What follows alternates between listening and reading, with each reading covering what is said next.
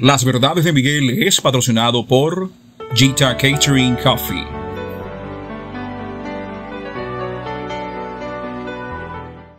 Grupo Financiero BOD. Solidez, compromiso y experiencia.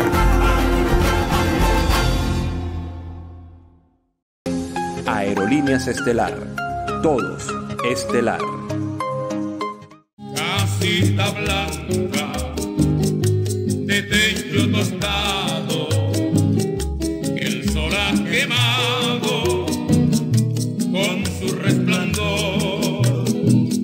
Tú sabes de besos de aquel tierno idilio que un día albergaste y diste calor.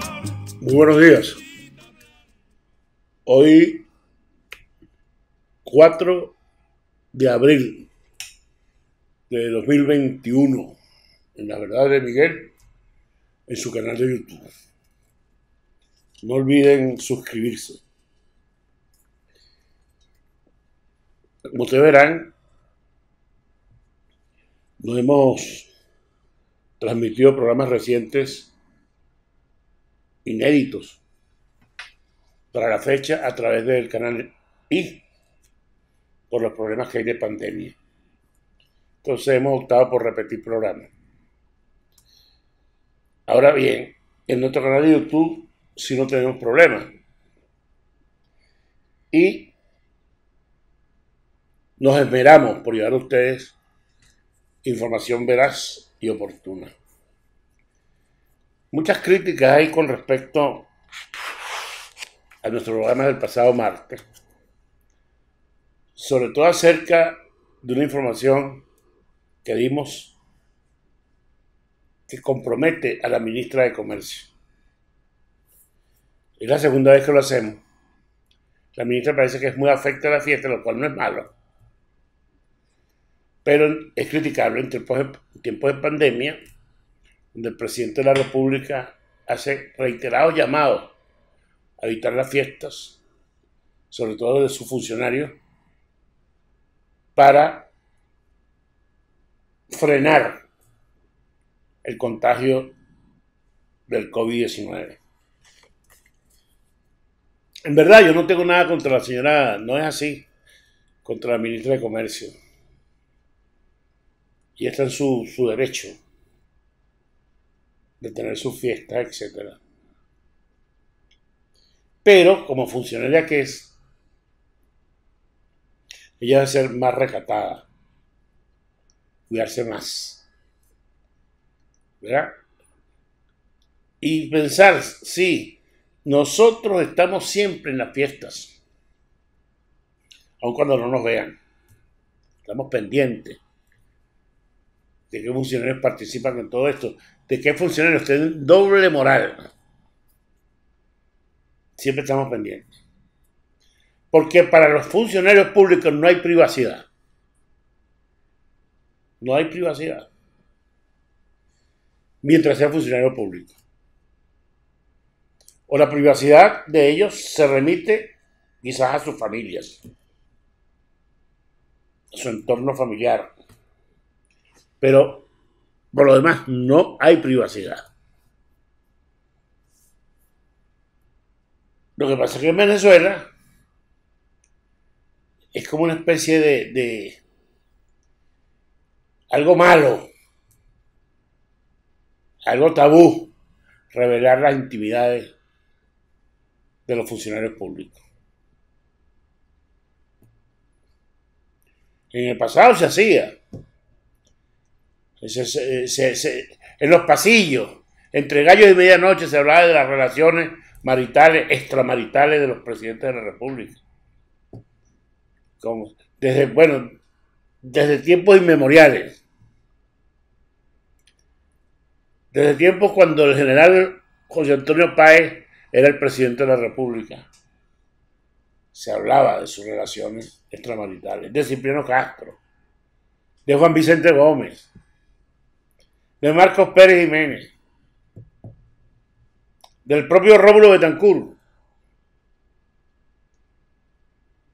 Había, claro, presidentes que no se les conocía otra cosa porque eran estaban más, más allá del bien y del mal.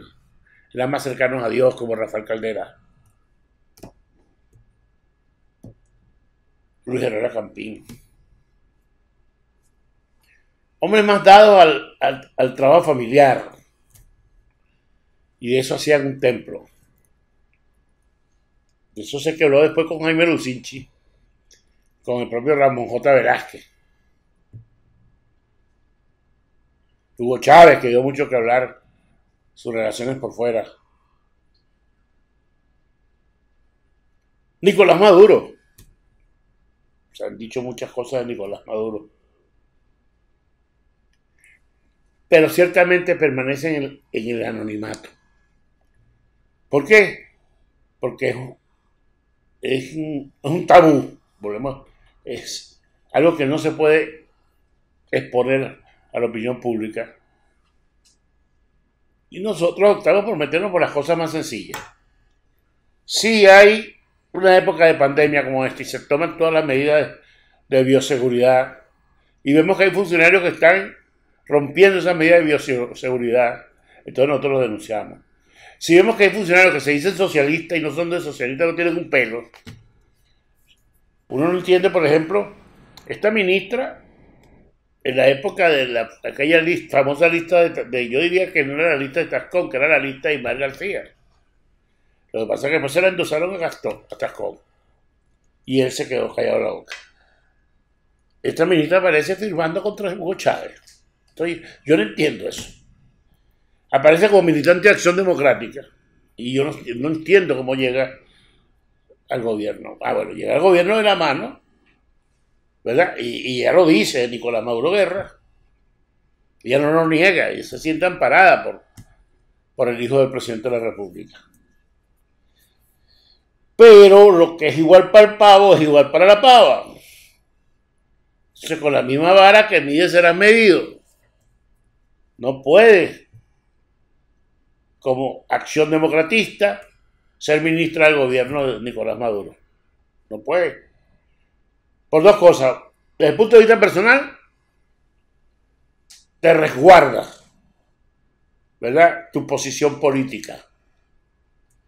Y desde el punto de vista público, quedas muy mal parada o muy mal parado si te ven convalidando al gobierno de Maduro. O es chicha o es limonada. No hay otra suerte. Mucho más cuando se montan esa fiesta. La fiesta, esa fiesta fue en Mampote, chico. Vamos a ser claros. La última fiesta. Y esa fiesta fue la semana antepasada. Esa fiesta hubo los más exquisitos licores. Fue una fiesta llanera ofrecida por esta señora. En honor al cumpleañero que es el dueño es uno de los dueños del club y uno de los dueños de variadas tiendas en Venezuela. Y la señora ministra le ofrece, pues, la vara que haya pagado de su bolsillo, la fiesta llanera. Pero ahí estuvo, ¿cómo se llama el Castillito? Vitico, Vitico Castillo. Él, cobra por eso. Bueno, ¿y, y qué pasa, pues? Es un delito para artistas. Artista, que hay artistas que son contratados por, el coqui para allá a los barrios caraqueños con su música electrónica y, son bien pagados. Como en el pasado eran contratados célebres personajes de la, de artística por el Pablo Escobar Gaviria y los llevaba a sus casas. Eh, entre eso se habla, se habla, no, se aseguró y se mostró que el Puma José Luis Rodríguez participó de esa fiesta.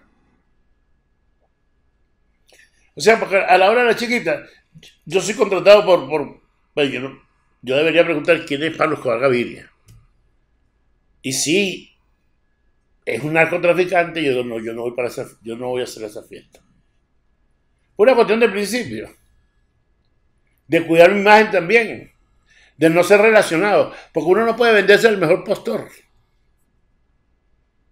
Ni al mejor ni al peor. Uno no está en venta. Uno ofrece su, su espectáculo, pero también eso tiene sus limitaciones. Por ejemplo, Yo soy José Luis Perales, conocido en el mundo, y mañana viene el coque y me contrata. Yo voy a ir a la J905 a ofrecerle un, un recital a los malandros de la J905. No puedo. Yo lo estoy diciendo, el caso de la amiga ministra de, Comercio, de que ella, ¿verdad? esté en actividades ilícitas. No, nunca he dicho eso. Lo único es una cuestión principista, de principios. ¿Eh? Yo no puedo en este momento de pobreza crítica, pobreza extrema, que el país se, se desplaza por un despeñadero, donde se multiplican los niños de la calle, donde se multiplica la gente buscando eh, comida en la basura. Yo no puedo, como funcionario público, estar en esas andanzas. Vámonos con unos compromisos y yo creo que es justo que yo explique esto porque se ha prestado para muchas interpretaciones. Y aunque tú me has echado en el abandono, y aunque tú has muerto mi ilusiones, en vez de maldecirte con justo encono, y en mis sueños te como, y en mis sueños te como de bendición.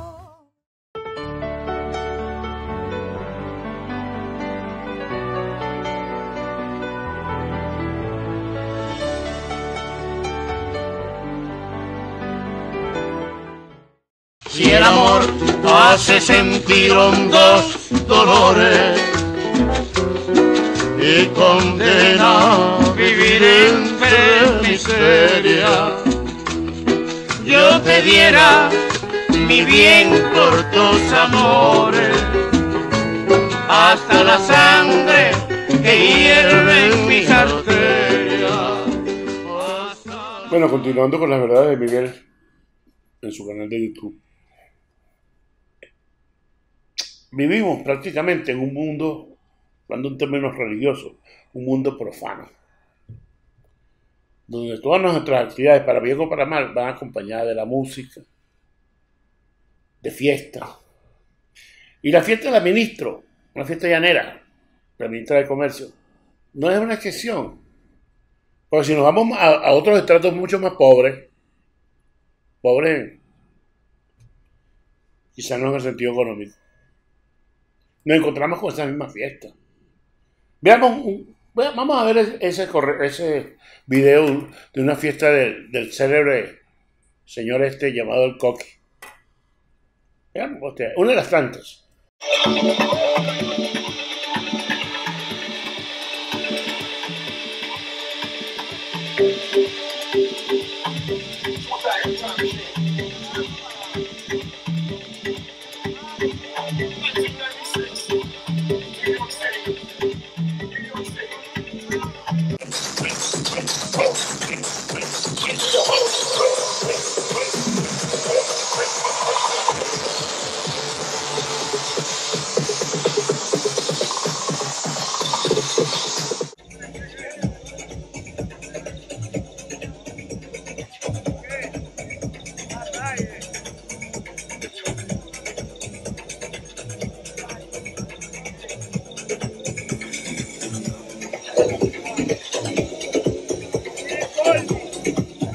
Esa fiesta es el Coqui celebrando su victoria frente al FAE.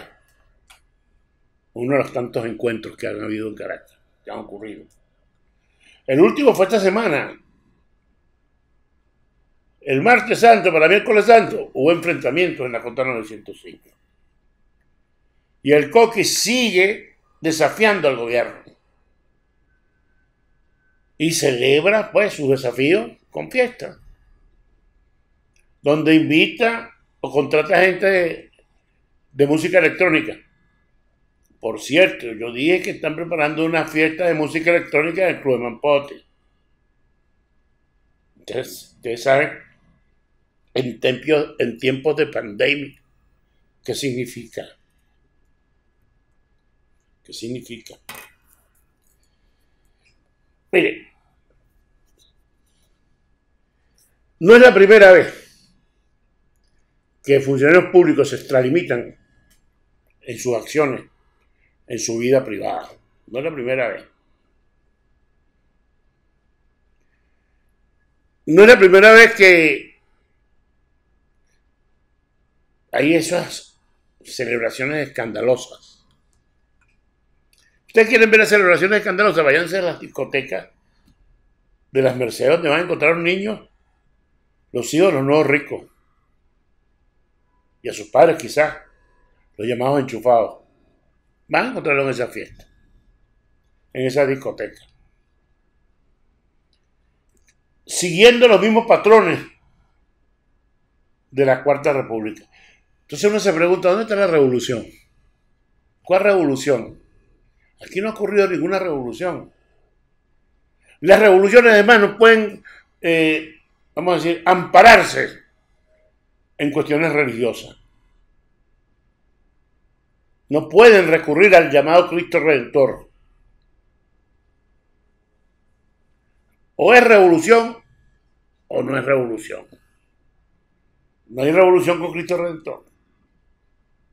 Porque las imágenes religiosas, las creencias religiosas, se respetan. Se respetan.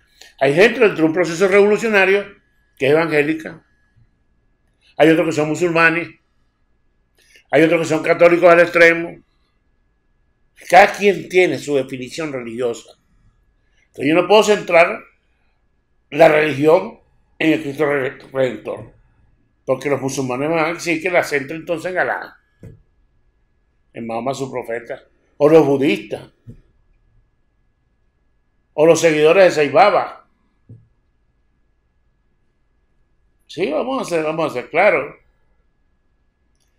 O sea, la religión debe ir paralela a un proceso revolucionario. Y yo estoy en desacuerdo. Fidel Castro llenó de santero a la isla de Cuba, porque cuenta que esa era la, religión natural de los africanos. Sí, pero que Cuba no es africana completamente. Es más, tanto es así que en Cuba mandan los blancos de hace muchos años. En Cuba no mandan los negros. El negro puede ser, se ve el negro así, uno que otro por allí, barbarita, yo no sé qué cosa, y el otro, de vez en cuando. Pero en Cuba se manejan son los blancos de Pinar del Río, los blancos de La Habana, los gallegos. Y eso es así. En Venezuela ustedes se ponen a ver, búsqueme un presidente negro. Ninguno. Puede ser que sea un sambo última hora que se llama Hugo Chávez o un hindú como este, con esas facciones hindúes eh, de cosas de Nicolás Maduro. Pero el resto no. No es que han sido catires, pero han sido blancos. Es que ustedes han visto un negro en la burguesía caraqueña. ¿Eh?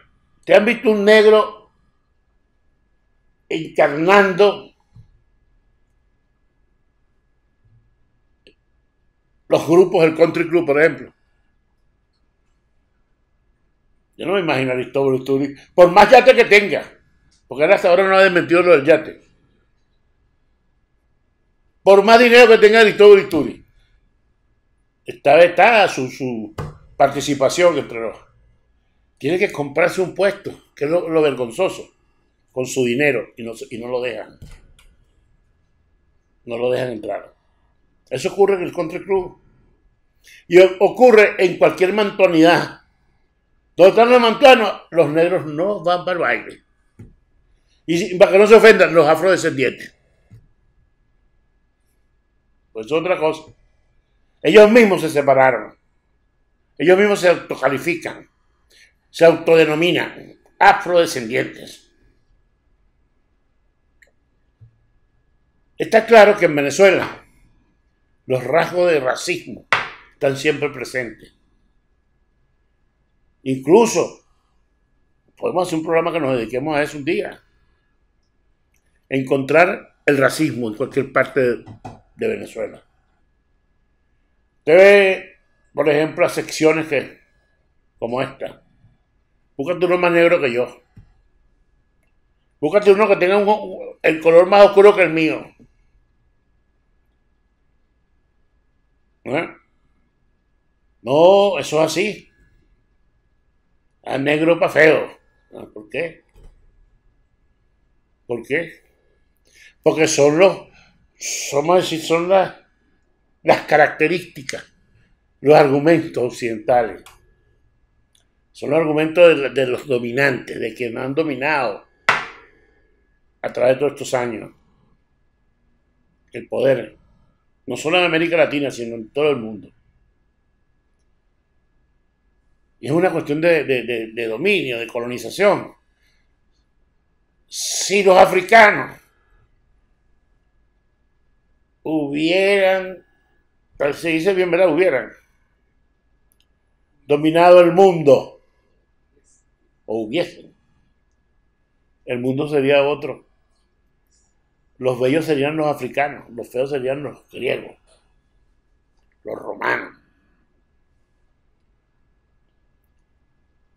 los corsos, los británicos, los alemanes, eso. Pero no.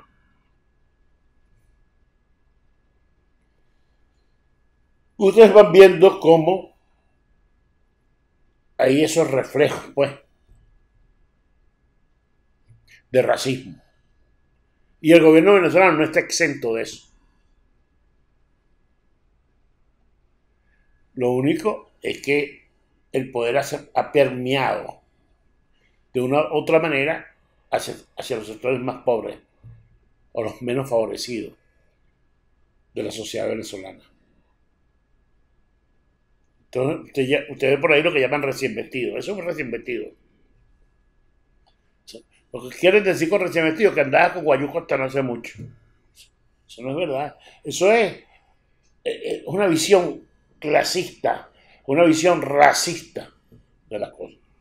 Vámonos con unos compromisos y seguimos con la verdad de Miguel su canal de YouTube. Bésame, bésame mucho, como si fuera esta noche la última vez. Bésame, bésame mucho, que tengo miedo perderte, Grupo Financiero BOD. Solidez, compromiso y experiencia. Aunque quiera olvidarte, ha de ser imposible, porque eternos recuerdos guardo siempre de ti. Tus caricias serán el fantasma terrible de lo mucho que supo, de lo mucho que supo, alejado de ti por doquiera que mire. verás Seguimos con la verdad de Miguel el canal de YouTube. Segmento 3. Estamos hoy en domingo de resurrección. Lázaro, levántate. Y Lázaro andó, no andó, no anduvo, no. Hay por ahí hay un cuento. Me van a decir ustedes a mí a qué vienen todas esas referencias hacia el racismo. Y Yo hay que concatenarlas con las fiestas estas. Es que ustedes lo que ven en los barrios son fiestas de qué? Fiestas llaneras. y- No, no, no, no, hay dos fiestas negros, mano. Mulatos.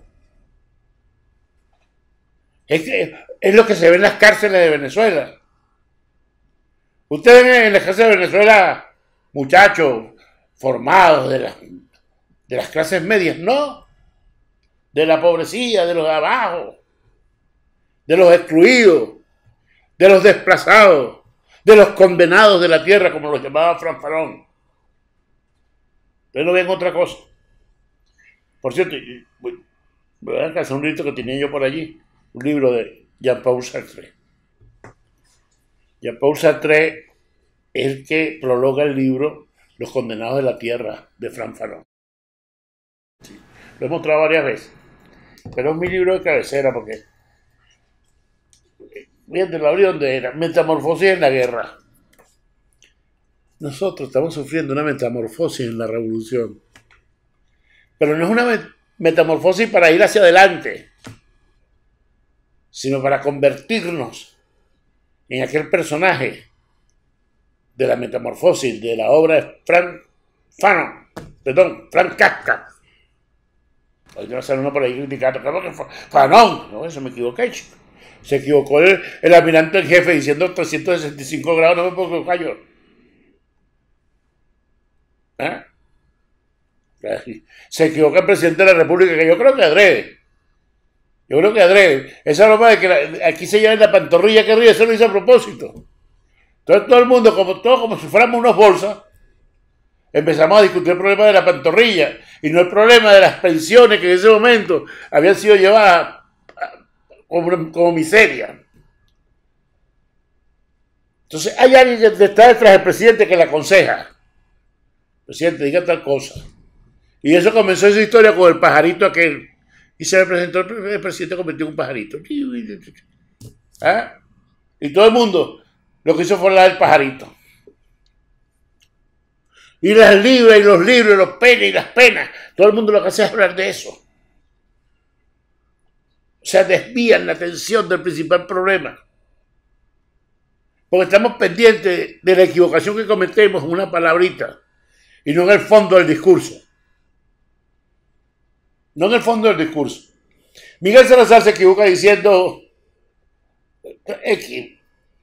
Entonces todo el mundo se tira por ahí. ¿Ve?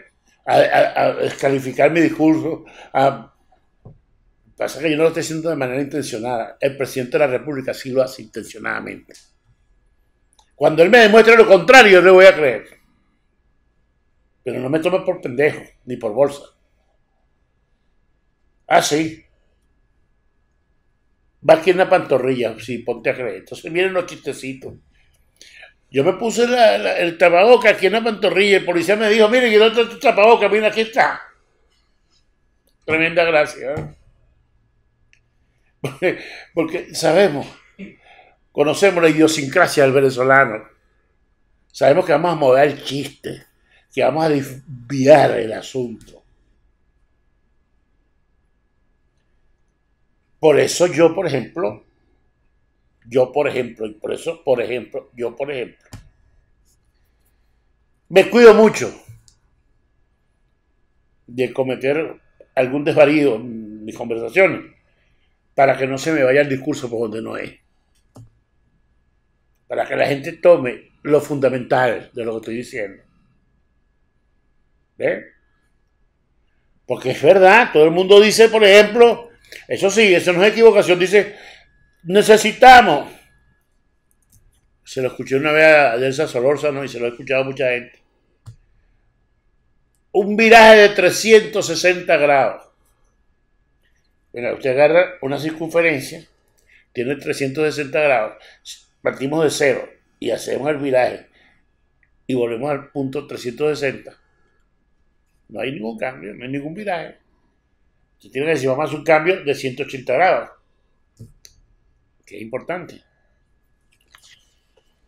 Por eso mi referencia a lo religioso.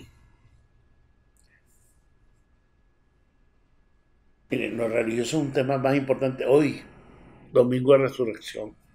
No dejarlo pasar por alto. Señores, yo me vuelvo a plantear de qué viven los curas de este país. Los curas no trabajan. No se les conoce trabajo. ¿Ah? A este señor, no, no, nada más los curas, no vamos a hablar de Bertucci. ¿Se le conoce algún trabajo serio a Bertucci? No. Y mire cómo tienen dinero. Y los señores eso de, paren de sufrir. Y por donde usted se mete, las iglesias evangélicas son iglesias prósperas. Edificios modernos. ¿Usted quiere ver cómo, viven los curas? Váyanse ahí al palacio, a la conferencia episcopal situada allí en la Hacienda La Vega, para que ustedes vean que hasta la servidumbre, porque es servidumbre. Quienes atienden a los curas, a los obispos, sirviéndoles en los almuerzos, en la cena. Andan con unos, son negros y andan con unos trapos enrollados en la cabeza como andaban los, los negros que servían en la colonia. Igualito. Usted ve al, Monseñor Baltasar Padrón. Porra. Baltasar Padrón, Monseñor Porra. Es que me, me equivoco para decir, no hacer que me vaya a demandar, yo no, yo no quise decir padrón, yo no quise decir porra, sino padrón. Entonces, usted ve a Monseñor Baltasar, su excelencia el cardenal, buenos vinos, buenas carnes, aún así sea en Semana Santa y buenas carnes. ¿Te ves todo eso? Te dice, ¿cómo viven los curas aquí? Ah, pero entonces estamos como en la novela Guasipongo, Guasipungo, de Jorge Casa, ecuatoriana. Guasipungo, los indios eran miserables y, y los blancos vivían como... Y los curas engañaban a los indios. En la iglesia había un sitio con muchas flores, que ellos decían que era el cielo. Y los que pagaran a la iglesia, los que, tuvieran, que no tuvieran en deuda con la iglesia, en billete, iban al cielo. Los aquellos que veían la mitad más o menos, entonces iban a un sitio con las flores secas y tal, que era el purgatorio. Y los que no pagaban, que eran la mayoría de los indios, estaba un sitio lleno de alacranes, alambre púa, ese era el infierno. Ese era el cuento que le metían. Y los blancos, cuando mataban un caballo, no lo entregaban a nadie, los tiraban, y los indios llegaban de noche a llevarse las carnes podridas. Ese, ese es el cuadro de miseria que reina en América Latina.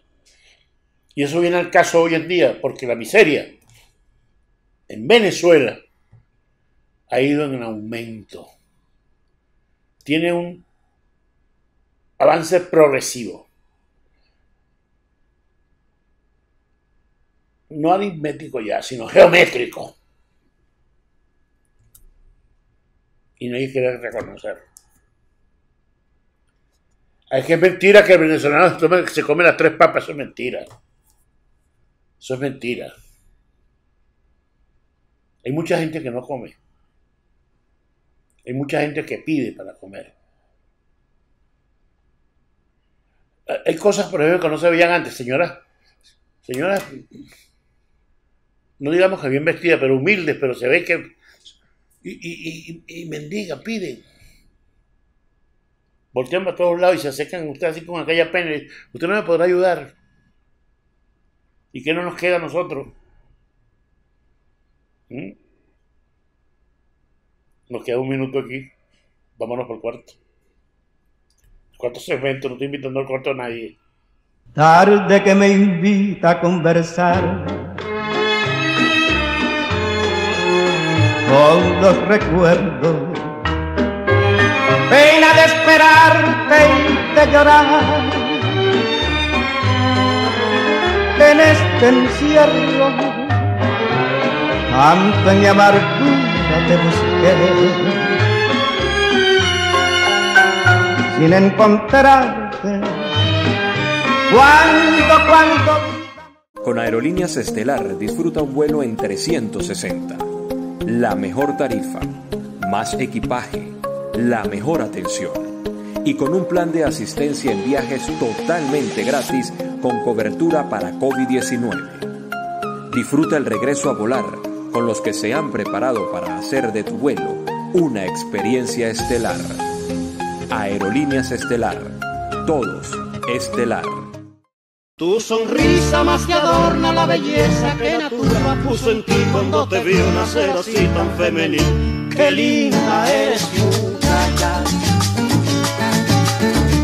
Qué linda eres muchacha. Qué linda eres muchacha. Esperanza, Qué linda eres muchacha. la belleza de tu cuerpo, Qué linda eres muchacha. la sonrisa de tu Bien. Si tuve que aclarar al final, vámonos al cuarto, al cuarto segmento. ¿Por qué la gente así? Entonces, de, de eso hacen un chiste y de eso, y, y me sacan de contexto todo lo que he dicho. Fíjense, leyendo esto en el 3, y esto tiene que ver con la pobreza nuestra ahorita. Se llama el, En el callejón sin salida. Dice, si les dieran mierda, la comerían. Con un delantal azul atado a la altura de los riñones, hurgando en la estufa de carbón, el propietario del establecimiento se encoleriza. Existe un día mucha gente pobre, bueno, en París, donde el dueño del establecimiento dice eso. Pero, y nosotros vamos a un video que nos hable, que nos ilustre un tanto la pobreza como crece en estos, los que jorungan las cosas de basura. Vamos a ver. Comer de la basura, el drama diario de los venezolanos más pobres. Cazar camiones recolectores y hurgar en bolsas se ha vuelto una agobiante rutina, según el estudio interuniversitario Encuesta sobre Condiciones de Vida. 7 de cada 10 personas perdió en promedio 8,7 kilos de peso en el último año. Fíjense, estamos lejos de eso.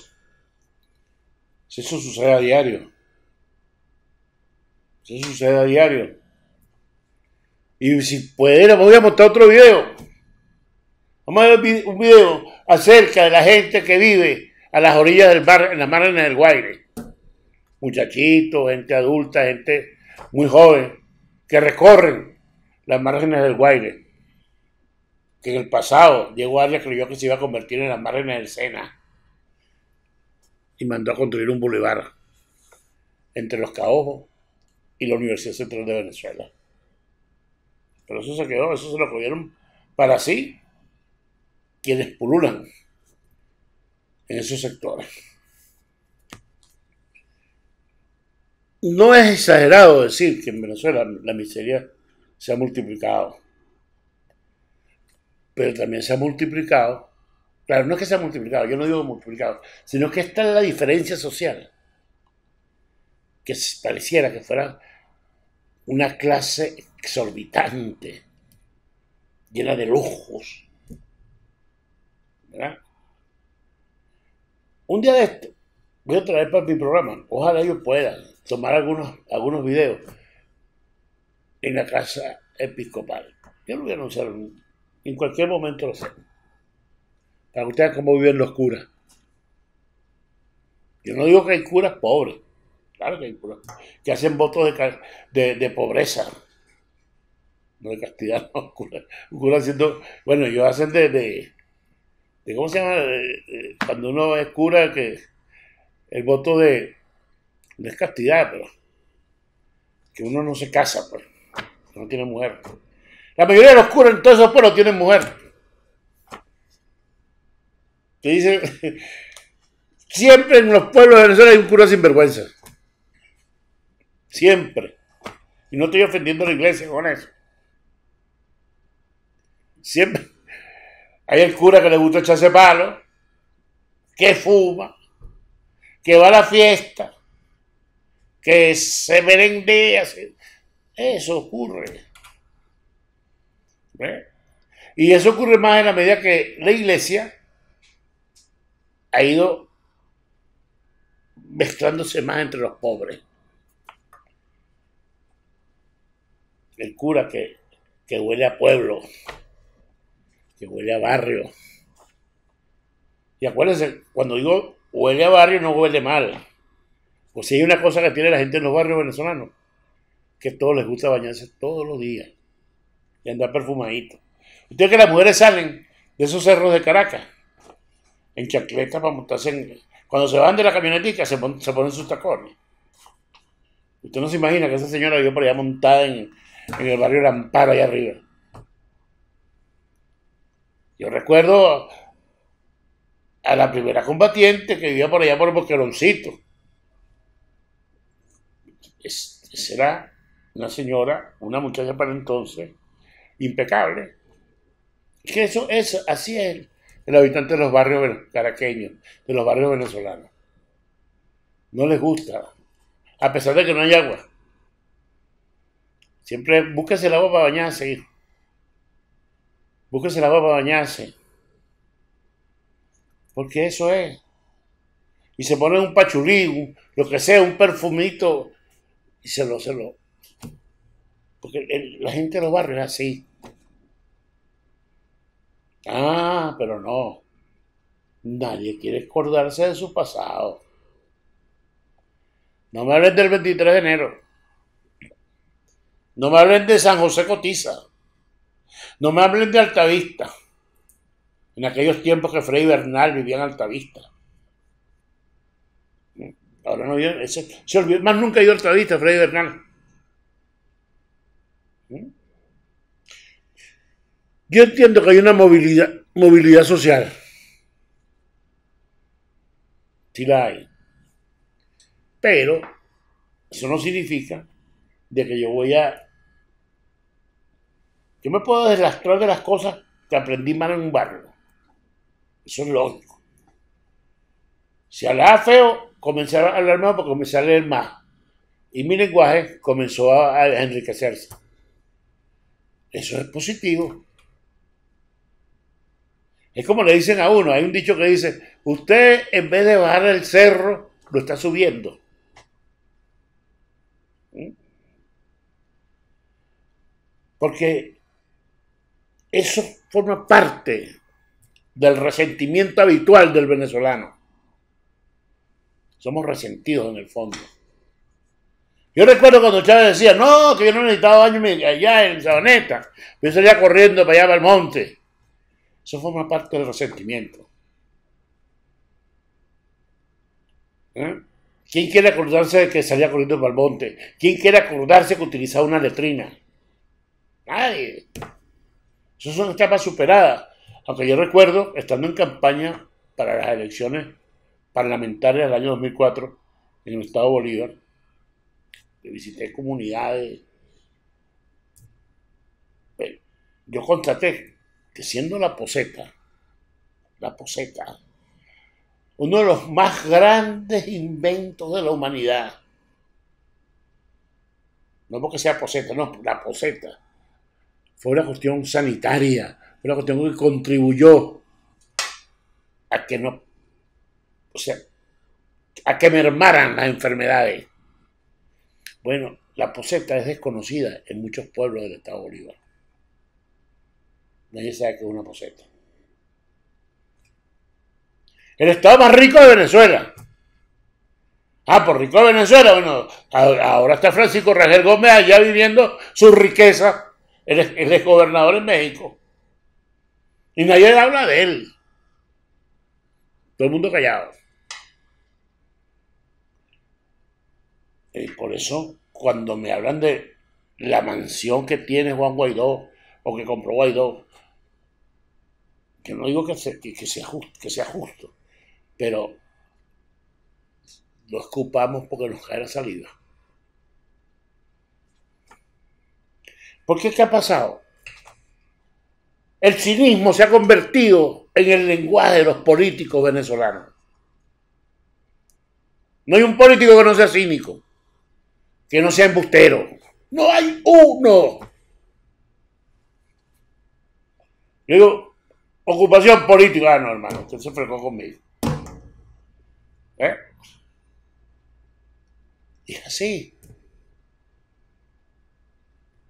Por eso es que hoy en día nos vemos como la política en Venezuela es vista, es vista con por la mayoría de los ciudadanos. No, ese es un político. No, hermano, mire, eso es lo que viene a ofrecer cosas para acá. Porque es época electoral. Por allí andan por el Estado Vargas en época electoral, preparándose para ser gobernadores. Fíjense ustedes, en el Estado Vargas tenemos nosotros, en el Estado de La Guaira, el secretario de gobierno es evangélico. Ustedes vieran cómo ese señor maltrata a la gente. Y es evangélico. Yo creo que este domingo de resurrección es hora de ir pensando en que venga Jesús, el Mesías, y saque a patada a los ladrones del templo.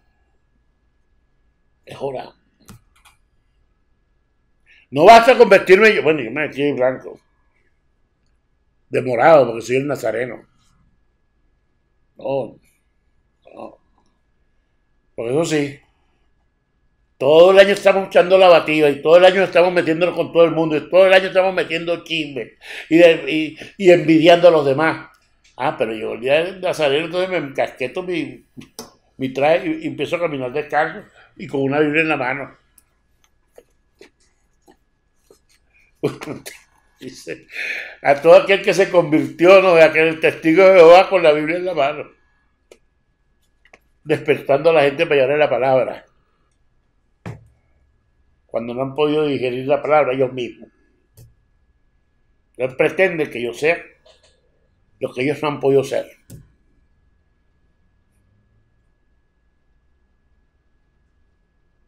Vamos para el quinto segmento.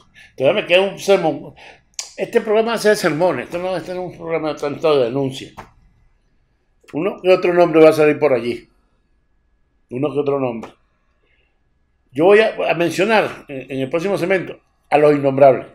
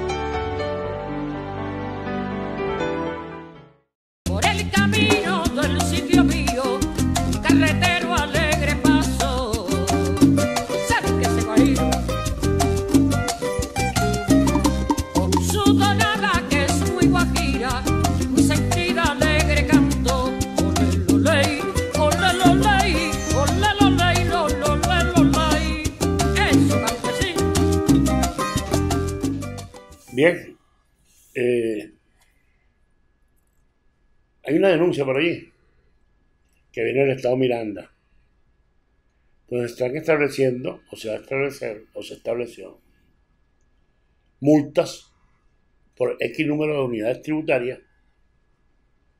a quienes no lleven el tapaboca. Pero bueno, está bien, hasta ahí, la intención es buena, pero parece ser que ya el tapaboca ha pasado a ser un elemento más del mercado negro. No hay tapaboca, desaparecido. Claro, en el mercado negro que está el, el, el desorden y el caos que hay, que usted en el mercado negro puede encontrar bombonas de gas, puede encontrar leña, si quiere leña, y para todos los gustos, y puede encontrar tapabocas. Tendrá que ver acaso la autoridad del Estado Miranda que establece el uso obligado de tapabocas, al que no lo use, eh, una sanción en unidades tributarias. Tendrá que ver con él, con el mercado negro del tapabocas. Sí. Hay de todo en la viña del Señor. ¿Mm? Ahora el tapabocas, como es una cuestión que es imprescindible, entonces todo el mundo anda buscando tapabocas por ahí. Todos quieren comprar tapabocas. Ah, usted quiere encontrar tapabocas, vaya a esa Chile Chitá. Claro, usted tiene que pagar dólares, ahí es, ahí es dólares. Y si se equivoca, bueno. ¿Usted quiere encontrar eh, bombonas de gas? Vaya los sitios donde venden las bombonas de gas. Usted no sabe dónde queda, no importa. Hay gente en el mercado negro que sabe dónde queda todo. Que cobra también por llevarlo usted hasta allá. Entonces se ha ido creando como una especie de actividad, eh, un subempleo de parásitos que viven de el mercado negro. Ahí están, ahí tenemos. Promesa del presidente de la República. Pero antes, primero, promesa de la, de la oposición. Por supuesto, en boca de Juan Guaidó, no hay otro. O promesa, vamos a empezar por Henry Ramos Alú. Vamos, vamos con la promesa. En un lapso de seis meses, contados a partir de la instalación de la Asamblea Nacional, propusiéramos un método, un sistema para cambiar el gobierno por vía constitucional. Eso lo haremos. La primera promesa de Henry Ramos cuando fue presidente de la Asamblea Nacional fue que iba a sacar Maduro en seis meses. ¿Ustedes lo vieron? Él dice que nunca dijo eso. Ahí está. Y la otra promesa de Juan Guaidó, que no, que la superación se acaba. Vamos a poner. Lo que veo es un régimen muy débil, un régimen que ya no tiene respuesta, un régimen que no, un régimen que no gobierna, sino canta victoria. El primero de mayo empezó hoy. El cese definitivo de la usurpación empezó hoy. Contamos con el pueblo de Venezuela. Soy muy optimista que estamos muy cerca de lograr el cambio en Venezuela. ¿Qué tal? Y además una confrontación de promesa a la promesa de Maduro. Pero antes de la de Maduro, la de Chávez. Una de Chávez. Vamos a ver. Imagínate en el 2019, Diosito lindo, cuando nosotros estemos en el 2014 primero, produciendo 4 millones de barriles de petróleo, cuando en el 2019 estemos en 6 millones de barriles de petróleo, cuando en el 2016 seamos la primera potencia petroquímica de este continente, y cuando en el 2019 tengamos, eh, ¿cómo se llama?, seguridad, soberanía alimentaria, ya estamos en 80%. Entonces yo me emociono cuando veo esos próximos seis años. El país potencia. Esa es una promesa. Ahora vamos a la de Maduro, la más reciente. Nosotros vamos a peinar todo el país porque vamos a lograr equilibrar la economía verdadera, la economía real. Vamos a equilibrar la economía real. Y me voy a concentrar las 24 horas del día en el tema de ganar la batalla económica para la prosperidad y la felicidad de nuestro pueblo. Si no, actuaré con todo el peso de la ley y la constitución. Ya basta ya de emboscadas y de guerra económica contra el pueblo. 2017, 2018, es decir, ya tienen que ser los años que desmontemos,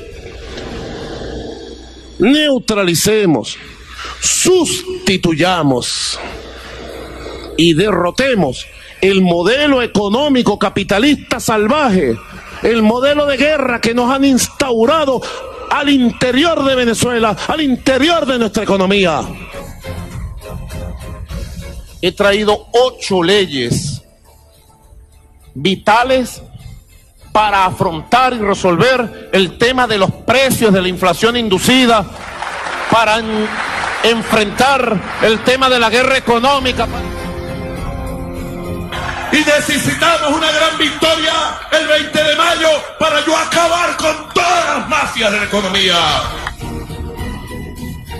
Segunda línea, avanzar hacia un acuerdo económico productivo para lograr la estabilización de la economía y para lograr una recuperación creciente, sostenida, sostenible del crecimiento económico en función de una prosperidad económica, de la producción de la riqueza y satisfacción de necesidades. No se va a superar el COVID-19 en los países ricos hasta tanto todos los países del mundo lo hayan superado. Lo mismo va a pasar en el aspecto económico. No va a haber una recuperación económica global hasta que la última economía del mundo haya superado esta crisis. Bueno, el establishment, el sistema comienza a perder credibilidad cuando no se cumplen las promesas. Y este es un país de promesas incumplidas. Parecemos turcos, disculpen la palabra, aquellos turcos que iban subiendo por las escaleras, se metían por aquellas callejuelas llevando sábana y corte barato. Así parece. Hay para todos los gustos. Ah, pero llamo a nuestra libretica para cobrar después. Mire, recuerda que yo le traje tal cosa. Vote por fulano de tal. Igualito. Y también tenemos la corte de los innombrables. Innombrables. Innombrables, por ejemplo, en el estado de Nueva Esparta, no se supo nunca más de él. ¿Mm? ¿Quién es innombrable en el estado de Nueva Esparta? Ustedes que son. Yo se lo voy a dar a ustedes. Pero hay innombrables como. ¿Dónde está Edgar Hernández Beren? Uno de los primeros personeros de Cadivi. ¿Dónde está? Edgar Hernández Beren. ¿Dónde está ahora el expresidente de Corpolet?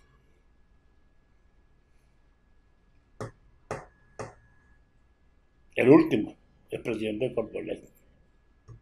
¿Qué se hizo? No le voy a preguntar por el negro Veroe, porque el negro Veroe está preso en Miami. ¿Dónde está Francisco Rangel Gómez? ¿Dónde está Francisco Arias Cárdenas? Averigüen. Toda su familia está instalada en, en- el Ministerio de Relaciones Exteriores. Sus hijos son embajadores, sus nietos, sus demás deudos y amigos. Señores, ¿dónde están quienes han sido tesoreros de la República? Bueno, por ahí está uno en Miami preso, Alejandro Andrade. Y mira, búscame, búscame, ahí me vas a poner la imagen. ¿Se acuerdan de aquel señor que era presidente de la Corte Penal? ¿Se acuerdan? Ahí lo tenemos ahí.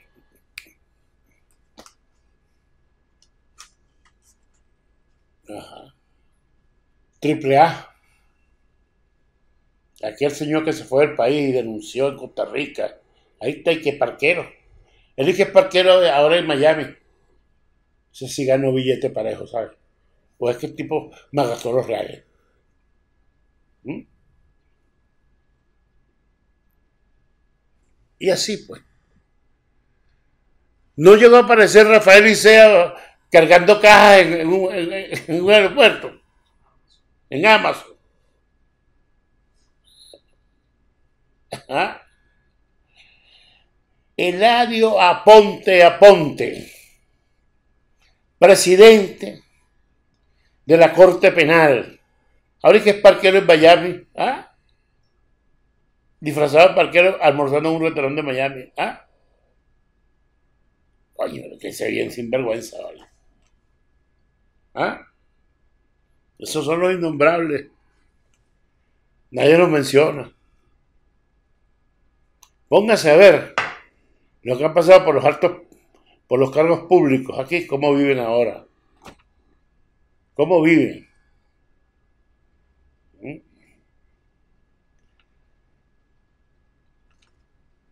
¿Tiene o no tiene patrimonio? Vamos a decir, fortalecido sustancialmente en los últimos 20 años el profesor Isturiz, Aristóbulo. ¿Tiene o no tiene? ¿De qué vive Pablo Medina en Miami? No se le conoce oficio definido a Pablo Medina. Nunca trabajó. ¿De qué vive este otro señor? Eh, ¿Cómo se llama? García. Ismael García, ¿de qué vive en Miami ese señor? Otro que no tenía oficio definido.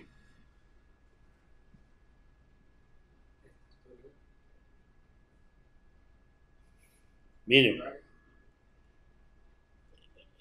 que es larga la lista, ¿saben? Julio Borges, imagínense ustedes. Julio Borges que, bueno, era un ascendente de la clase media, media, media baja.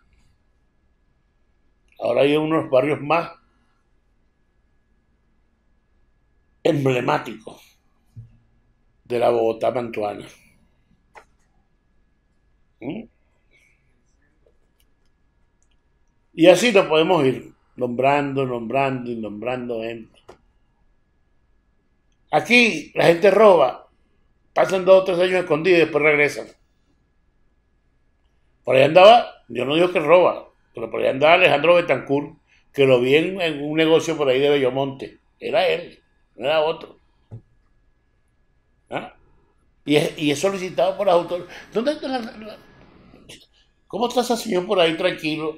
Si ese es el, el- el de los negocios de la luz, las termoeléctricas, etcétera. No es Nervin Villalobos, es casi Nervin Villalobos. ¿Dónde está? Miren, ¿dónde están los de Purreval? Ah, hombre, no hay nadie preso. Entonces fueron, andan tranquilos y vienen a Venezuela cuando quieren.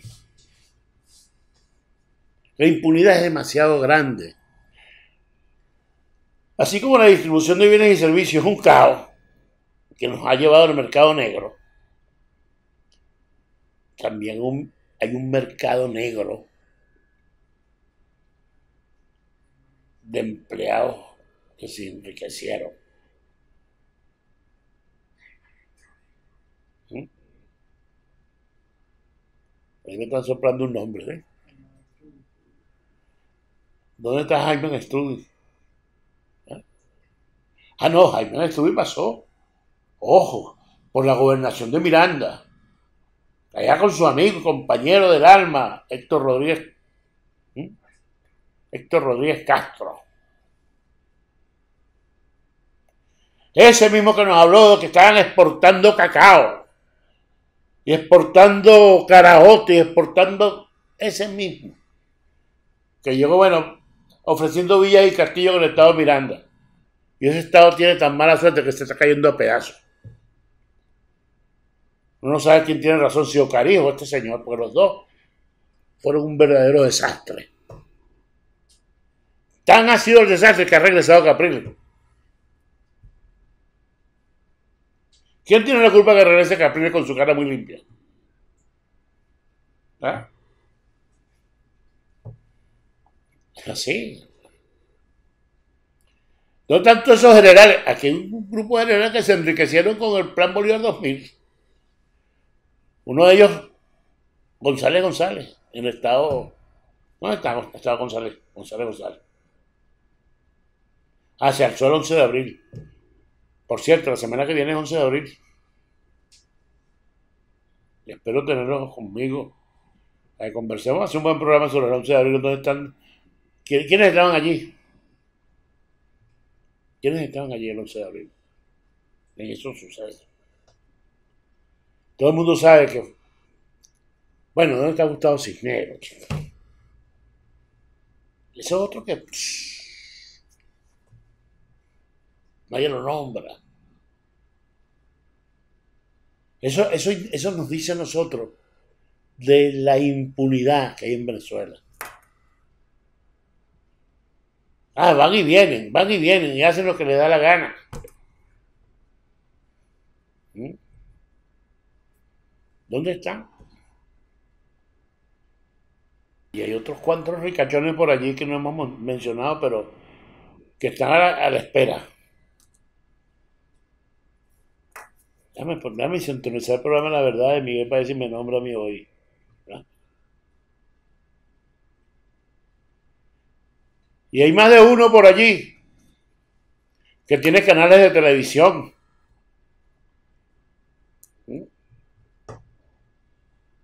Y no me refiero al innombrable, a Raúl Gorrín, no me refiero a Gorrín. Me refiero a otros por ahí que ahora se dan golpes de pecho como el de la iguana. Iguana TV. ¿Quién le dio todo eso de la Iguana TV a él? El tocayo Pirela. Si era un limpio solemnidad en el Zulia. ¿Mm? Mire, hermano. Aquí, por donde quiera saltar la liebre. Vámonos. que tengan ustedes un día re- reflexivo, de un domingo de resurrección. ¿Ustedes se acuerdan de aquella película, no me acuerdo cómo se llamaba, con Juan Manuel La Guardia? La viejita que se murió en Caracas y no traía... Todo el choque sucedió, bueno, ahí estamos nosotros. Muchísimas gracias. No olviden suscribirse al canal y será este martes de nuevo que volvemos a la guerra. Soñaba un mundo de felicidad al encontrarnos, pero el impulso de tu vanidad nos fue alejando. Me quieres tú, te adoro yo, pero el orgullo nos venció a los dos. ¿A dónde vas? ¿A dónde voy? ¿A dónde iremos a morir de amor? Las verdades de Miguel fue patrocinado por Gita Catering Coffee.